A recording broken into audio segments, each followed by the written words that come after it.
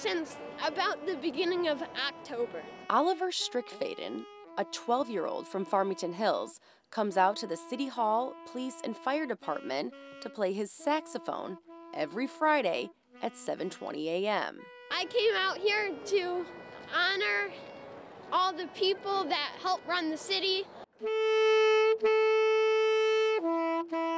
America the Beautiful.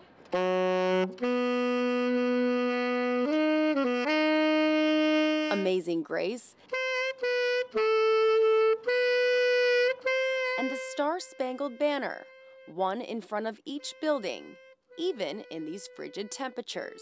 I wanted to honor my commitment to the flag and everybody here. His little fingers, they were so His cold. poor, today was really cold. His poor fingers. I don't know how he managed to actually maintain on that saxophone because it's at my fingers. I can't feel mine. So. Oliver's parents say he came up with this idea on his own. Pretty patriotic kid. He's loves history. He just wants to appreciate the people who've been coming out here day after day and uh, giving giving to our community to make it run.